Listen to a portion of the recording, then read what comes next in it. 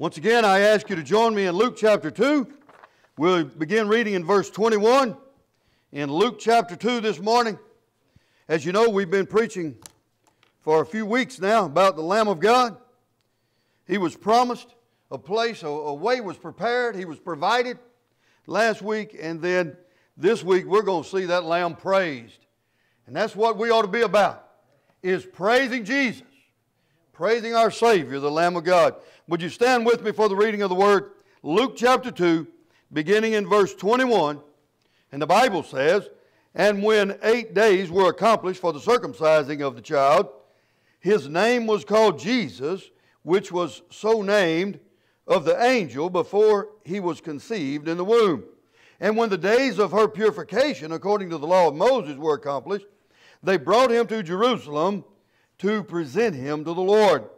As it is written in the law of the Lord, every male that openeth the womb shall be called holy to the Lord, and to offer a sacrifice according to that which is said in the law of the Lord, a pair of turtle doves or two young pigeons. and behold, there was a man in Jerusalem whose name was Simeon, and the same man was just and devout, waiting for the consolation of Israel, and the Holy Ghost was upon him. And it was revealed unto him by the Holy Ghost that he should not see death before he had seen the Lord's Christ. And he came by the Spirit into the temple. And when the parents brought in the child Jesus to do for him after the custom of the law, then took he him up in his arms and blessed God and said, Lord, now lettest thou thy servant depart in peace according to thy word. For mine eyes have seen thy salvation, which thou hast prepared before the face of all people, a light to enlighten the Gentiles, and the glory of thy people Israel. And Joseph and his mother marveled at those things which were spoken of him. And Simeon blessed them and said unto Mary his mother, Behold, this child is set for the fall and rising again of many in Israel, and for a sign which shall be spoken against Yea, a sword shall pierce through thy own soul also, that the thoughts of many hearts may be revealed. And there was one Anna, a prophetess, the daughter of Phanuel, of the tribe of Asher. She was of great age and had lived with a husband seven years from her virginity, and she was a widow of about fourscore and four years which departed not from the temple, but served God with fasting and prayers night and day. And she coming in, that instant gave thanks likewise unto the Lord, and spake of him to all them that looked for redemption in Jerusalem. Let's pray. Dear Father, we bow before you once again. We thank you, Lord, for all that we've been studying, God, how that you gave a promise way back there in Eden that there was one coming that would deliver man that would crush the evil one and deliver us from our sins. We saw how you brought that plan into motion and brought it about. You prepared a perfect place, a pure place in the womb of that Virgin Mary. And then you provided that lamb when the time was appropriate at the very place the prophet said he would be born. And you worked all of that out and you brought your lamb into this world, the bread of life. And now, Father, as we see these old saints of God praising that Lamb, praising Jesus, and giving glory and honor unto you for, for all that you've done on our behalf, let us today purpose to do exactly that. As we close out one year and begin to uh, approach and, and, and go into another year, may praise be on our lips May we thank you for all the blessing of the past year for bringing us safely to this end of year. And may we praise you for the opportunities that we look forward to in the coming year. Father, teach us from your word. Thrill our hearts again by your word. In Jesus we pray. Amen. When Jesus, according to the scripture, when Jesus was eight days old, he was circumcised as prescribed by the law. Leviticus chapter 12. If you want to read some of that, just begin in verse 1 and read a little while. After 40 days, Mary has reached the end of her purification period. Again, Leviticus chapter 12. In these verses of our text today, we are allowed to go to the Lord's house with Jesus, with Mary and Joseph, as they take him to be presented to the Lord as prescribed by the law. While they were there, some very special events occurred. Two old saints of God, Simeon and Anna, were in the temple. They were there because the Holy Spirit led them there. The Holy Ghost led them there. They were part of a faithful Jewish remnant who was looking for the appearing of the Messiah. When they meet Jesus that day, even though he was just an infant of some 40 days old, they were overjoyed and began to lift up praises unto the Lord. Now, you and I, who have met him in an intimate way, who he has saved, redeemed, cleansed from our sin, and come in through the Holy Spirit to live within us, we ought to be overjoyed and praising him and lifting up glory unto the Lord, shouldn't we? I want to talk about today the Lamb praised. The Lamb praised. When Simeon enters the temple and takes Jesus into his arms, the old man declares for all to hear the reasons for his joy. Simeon gives us three um, reasons, three motives for praising the Lord that is just as valid today as it was for Simeon in that day. The name Simeon means he who hears. And apparently, this man had been hearing the voice of the Holy Ghost. He had been told that he would not die until he had seen the Lord's Christ, the Jewish Messiah, the Savior of the world, with his own eyes. He would see him for himself. When old Simeon sees Jesus, he is notified by the Spirit that this is the child, this is the babe, this is the one that you've been waiting for. This is the Lord's Christ. And he begins to praise the Lord because of who had entered the world and who had entered the temple and who had entered his life. So, just who was this baby? Well, he's identified as the Lord's Christ and the Lord's salvation in our text. Simeon understood who he was, but few others did. We've been introduced to some shepherds who were um, introduced to him who, who knew who he was, and they made known what they had seen and heard, but few others realized who Jesus was. The priest who had circumcised him just a few weeks earlier didn't know who he was. The other people in the temple that they didn't know who he was. The folks in Bethlehem, the night he was born, did not know who he was. Sadly, most people alive today do not know who this child was and is, but he still is the salvation of the Lord, the Christ of the Lord. He is God in human flesh. John chapter 1 tells us in the first verse, in the beginning was the Word, and the Word was with God, and the Word was God. The same was in the beginning with God, verse 14, and the Word was made flesh and dwelt among us, and we beheld His glory, the glories of the only begotten of the Father, full of grace and truth. God, the Son, the personification of the Word of God, became flesh. That's who this baby was, and that's who Jesus is still today. He is the Lamb of God slain before the foundation of the world. Revelation 13 8. We mention that over and over in this series. He is the only Savior of sinners and the only way to God. He is the way, the truth, and the life. That's who Jesus is. That's who Simeon recognized, and that's who I want you to recognize today if you don't already know him in the free pardon of your sins. Simeon is excited because the promised one has appeared. He knew who Jesus was. The question now is do you know who Jesus is? Have you received him as your own Savior? Have you applied the salvation that He, uh, the forgiveness and salvation that He paid for? Have you had it applied, appropriated to your account so that you too are a child of God?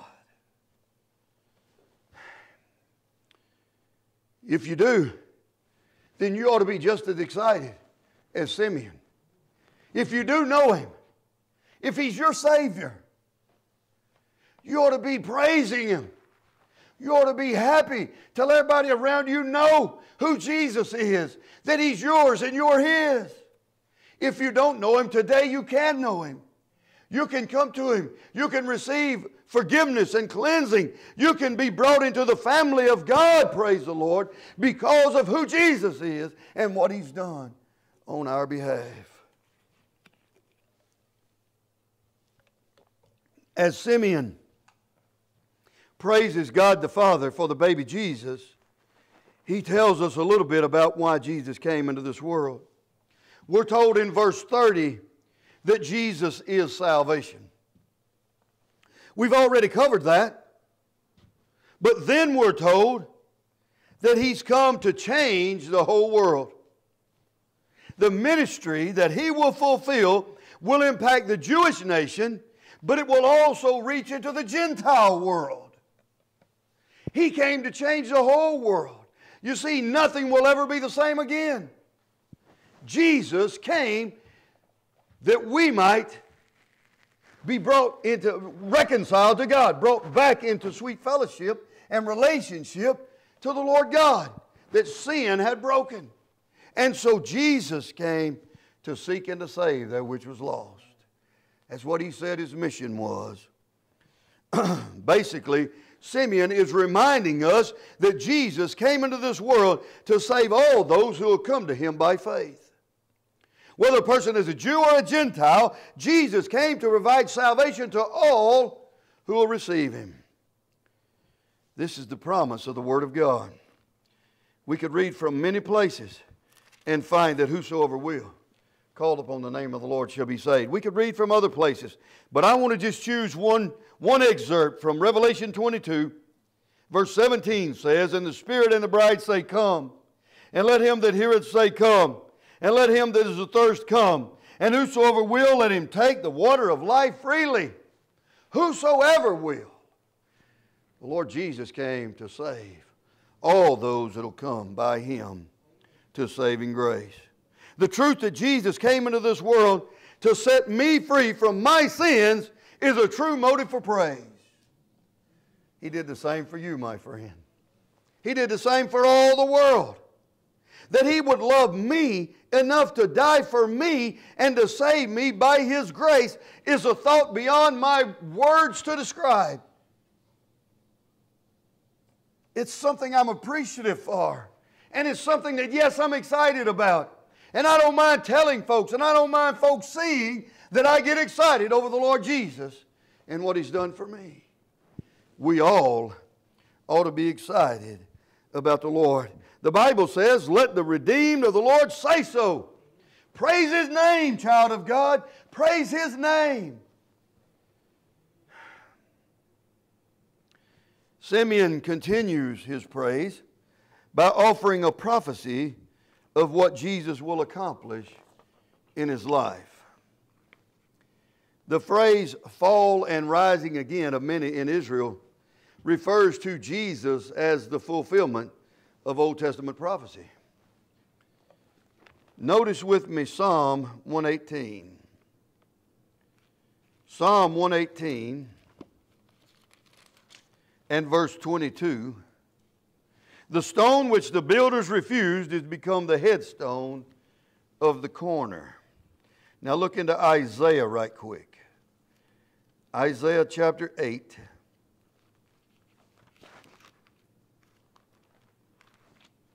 And verse 14.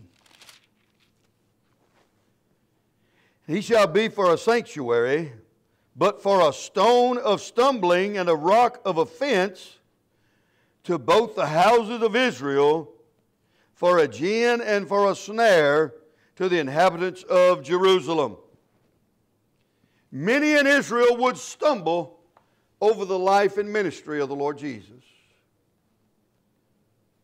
They would stumble in rejection, but a few would rise again in salvation. Jesus is a stone. A stone of stumbling for those that trip over him and refuse to, you know, reject him, refuse to receive him. A foundation stone for those who will receive what he offers and build their faith and life upon it. He is also a sign. The word signs carries the idea of a miracle. Jesus is God's miracle. You ever thought about that? Jesus Christ is God's miracle. But instead of receiving him as the gift and revelation of God, his enemies attacked him and crucified him. His birth was a miracle, and they attacked it. As a matter of fact, in John chapter 8, the Gospel of John, chapter 8, and verse 41, they accused him of being the product of fornication.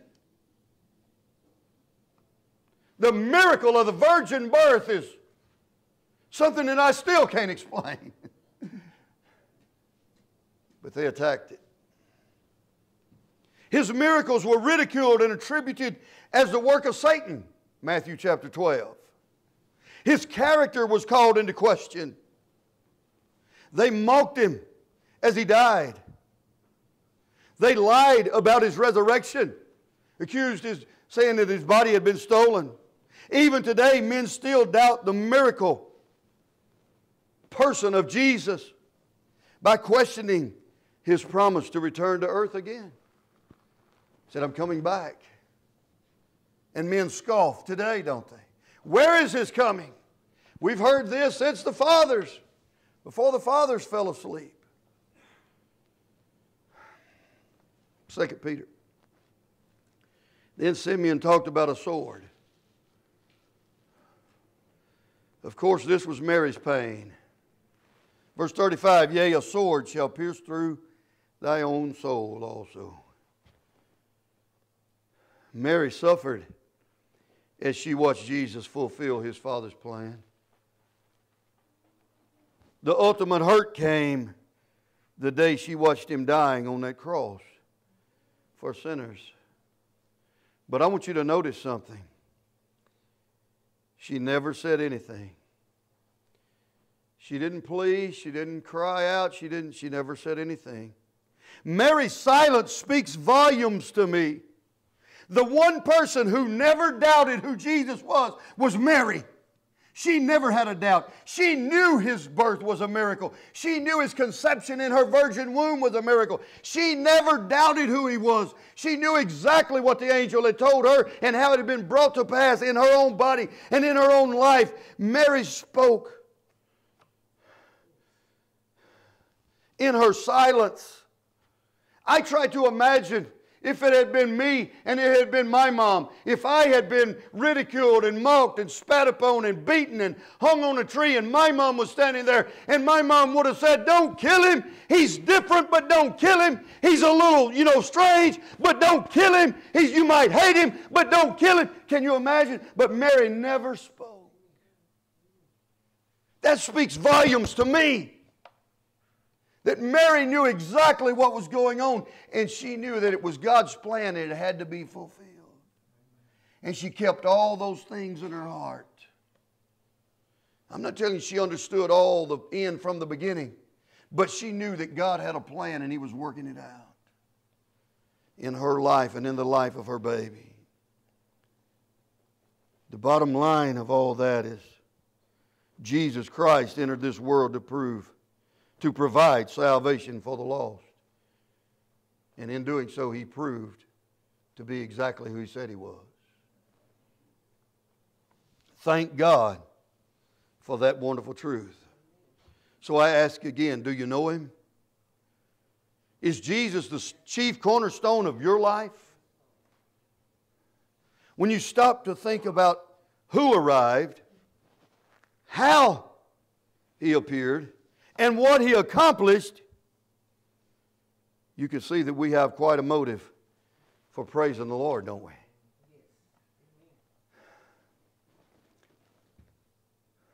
As Simeon and Anna magnify the name of the Lord, I think we can learn some lessons from how we see them praising the Lord. A lot of what's pray, uh, passed off as praise today is nothing more than a show of the flesh. There's a biblical way to offer the sacrifice of praise, and these two old people do it. These two old saints of God. First of all, notice that their praise is vocal. They didn't keep it bottled up inside, they let other people know who Jesus was and what he meant to them. He let the overflow of his heart come out through his, through his speech, didn't he? Through his voice. He opened his mouth and he lifted up his voice in praise for the Lord Jesus Christ. We need to do that. Their praise was visible. Simeon involved his entire person in the act of praise. He reached out, he took the baby, he lifted him before the Lord. He held him on high as he praised the Lord. He was not embarrassed to praise the Lord vocally and visibly. When Anna enters the picture, she blends her voice with that of Simeon and adds an additional element.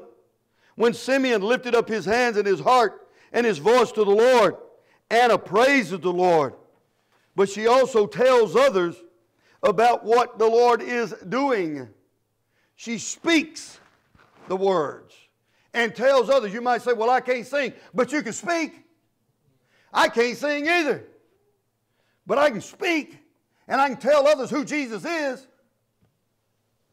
I realize that we're living in a day when old fashioned praising the Lord is out of, you know, vogue. People are too afraid of what others might think of them to be involved in vocal, visible praise.